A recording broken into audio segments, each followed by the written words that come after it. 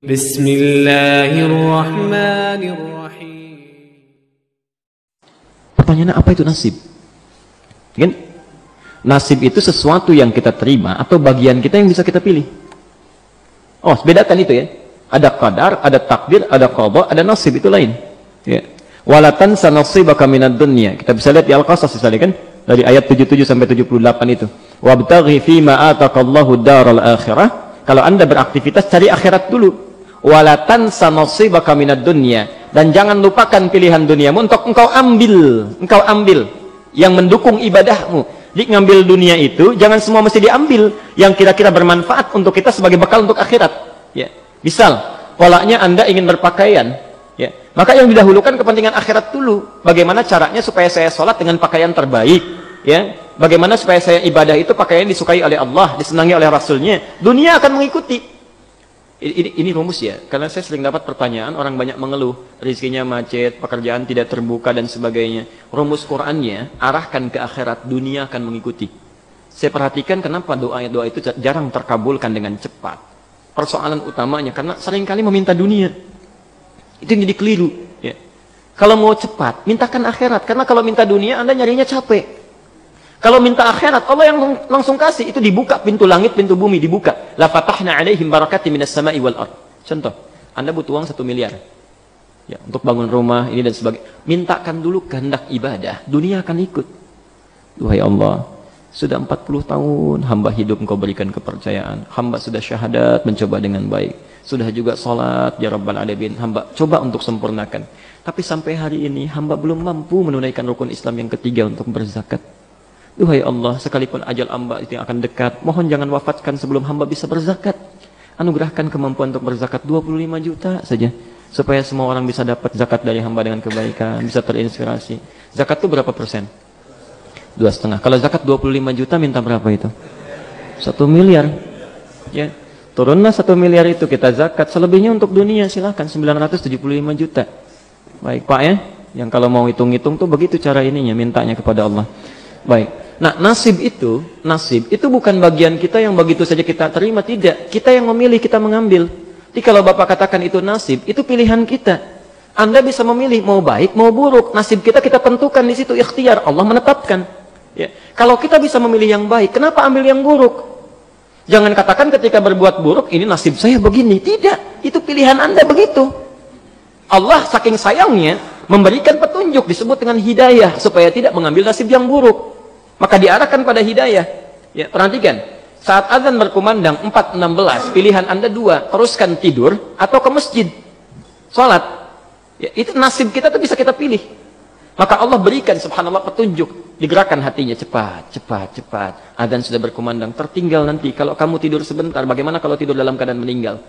Digerakkan, digerakkan. Bangun kita. Ya. Setan juga sama. Begitu selesai azan, tenang, baru azan, belum komat, tenang, baru azan, belum komat.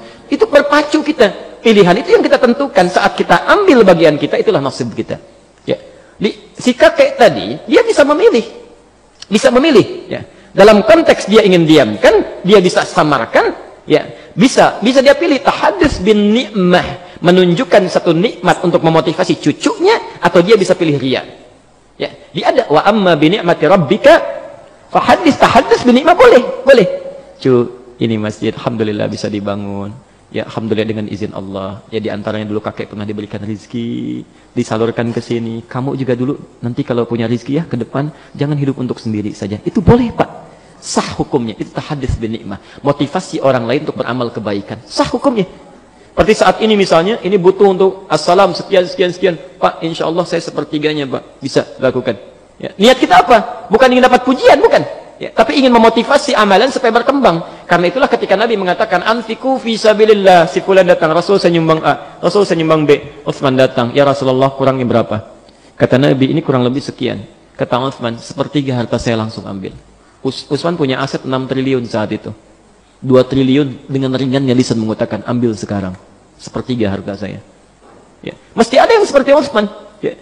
Mesti ada yang seperti Utsman. Allah. Jadi tenang itu. Ya, tenang. Kita harus bersinergi. Kalau butuh sesuatu masjid, ada yang harus jadi Uthmannya. Makanya ada yang berusaha dalam kebaikan dunianya, niatkan ibadah. Begitu dibutuhkan, Allah titipkan pada anda.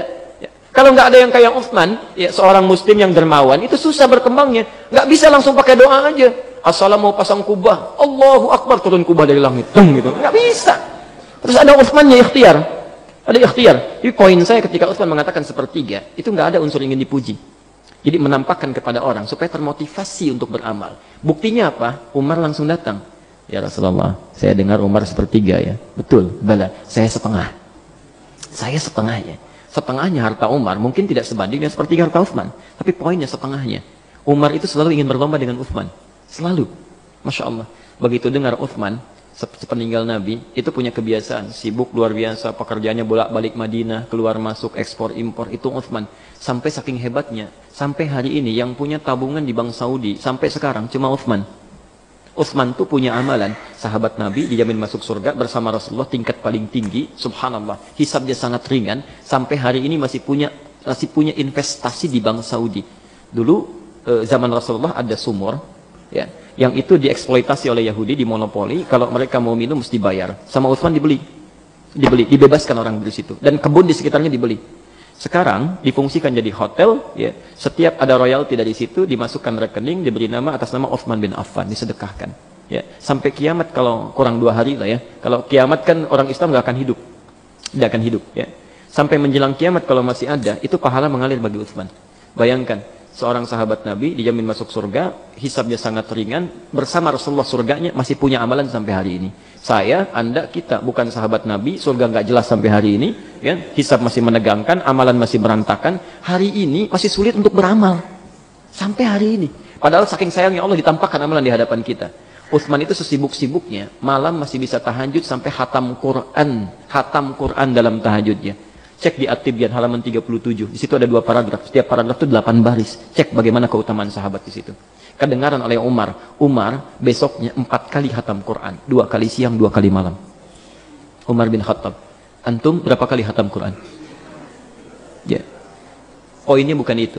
Tiba-tiba datang seseorang yang selalu mendampingi Nabi, yang hidupnya diserahkan pada Rasulullah untuk kepentingan Allah dan Rasulnya. Tiba-tiba datang berbisik mengatakan, Ya Rasulullah, saya semua harta saya. Bertanya Nabi, Mada tarak tali ahlik. Kamu tinggalkan apa untuk keluargamu? Allah wa rasulahu. Saya tinggalkan Allah dan Rasulnya. Allah. Dipegang tangannya, digenggam, diumumkan pada para sahabat. Abu Bakar, Abu Bakar, akhi, faman adahu faqad adhani. Abu Bakar itu saudaraku. Siapa yang mencela dia, mengganggu dia, menyakiti dia, maka dia telah menyakiti saya. Seorang Abu Bakar.